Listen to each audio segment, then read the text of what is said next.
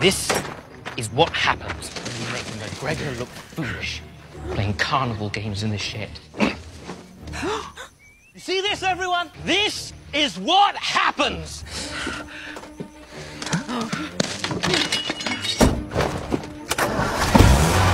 Come on, come on!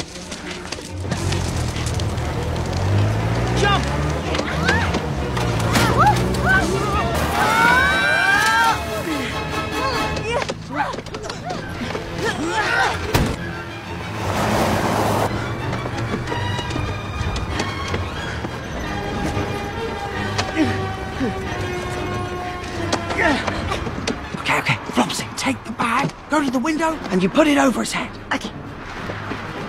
Oh. Mopsy, you take the bag, go over to the window, put it over his head. Got it. Oh! Cottontail, take the bag. Just give him a wet willy. Got it.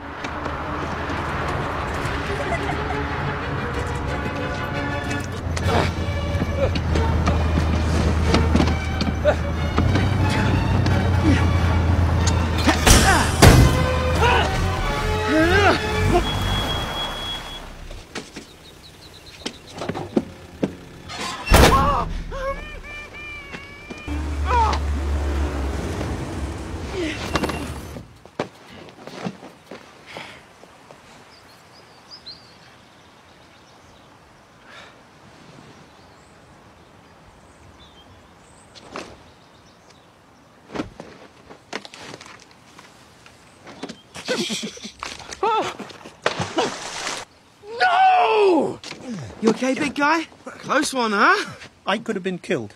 And not just me. What if he got the girls? This isn't a joke, Peter. I know. I'm sorry. You're all right, though, right? I've got your jacket back. It's not as symbolic as mine, you know, not being your dad's and all. And it's brown too, which is a mistake because you're brown. I mean, brown on brown. Who wears that? It's a bit matchy matchy. Half the time we think you're naked. Anyway, you got it back, and you're okay. No thanks to him. Look at him. Skinny bag of wet. now turn around and drive us home, Eugene.